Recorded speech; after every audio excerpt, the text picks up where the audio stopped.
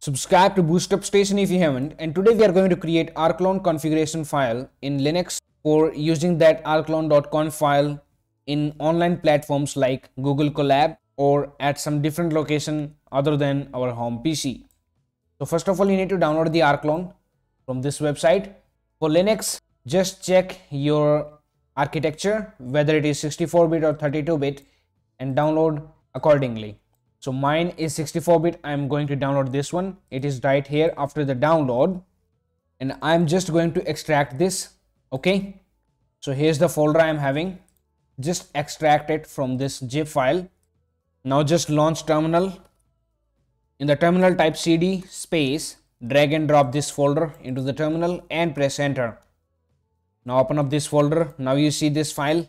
We have to execute this file so for executing that, first of all, we need to make it executable. Type sudo space chmod space plus x space. Type the file name rclone and press enter. Now type the user password and press enter. Now this file has been made executable. Now we can run it. So type rclone space config and press enter. Now it says command not found. Just type forward slash and a dot before this rclone. And press enter. We have to make it dot and a forward slash. Now you can see it has got successfully executed. Let us create a new remote here. Just type n and press enter. Type the remote name. For example i want to create the configuration file for google drive. I'm just going to make it z drive. You can create the configuration file for any of the drives like mega onedrive OpenBox and there are a lot of them are there in the market okay? So just press enter. Now see where you have the name of the drive listed. It's the number 13 so i'm just going to type number 13 here and press enter. Press enter to skip these two.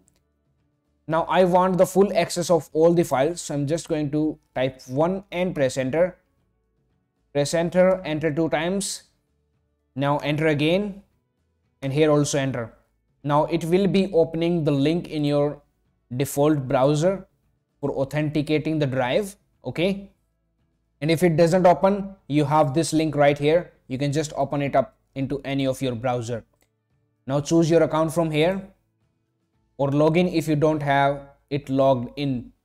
Now click on allow to give it permissions and you can see that it's a success and you can see that it has got the code.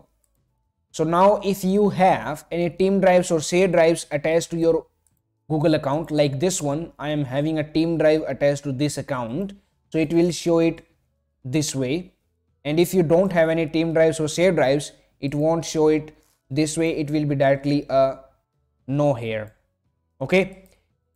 And now I want to create the configuration file for the team drive. So I'm just going to type Y here and if you want to create the configuration file for this only my drive then you can just type n and press enter.